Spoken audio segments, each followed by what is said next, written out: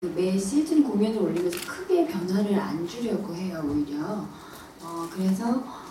어, 초연부터 재연 재연 때는 이제 극장이 달라지면서 공간이 너무 넓어지면서 그 넓은 공간을 채우기 위해서 어, 조금씩 변화를 너무 디테일을 많이 줬던 미장센들을 좀 푼다든지 아니면 어, 단조로운 선율로 어떤 감적 뭐 이런 것들 유니진 뭐 이런 것들 살렸던 거를 좀 화음을 더 넣는다든지 뭐 이렇게 해서 그 빈 공간을 채우는 데 주력했고 나머지는 어, 큰 변화를 주지 않았었고요. 이번 같은 경우에는 초연과 동일한 공간이기 때문에 작은 공간이기 때문에 큰 많은 변화를 주지는 않았습니다.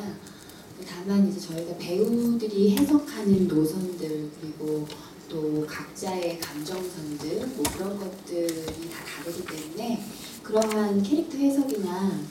뭐 디테일들 뭐 그런 것들로 어, 변화를 준, 의도적으로 준다기보다는 자연스럽게 그 각각의 배우들의 해석과 뭐 그런 것들에 따라서 작품의 질감을 유지하면서 조금 더 다른 공연을 어, 보여줄 수 있도록 좀 시도 시도라기보다는 계속 노력해 왔습니다.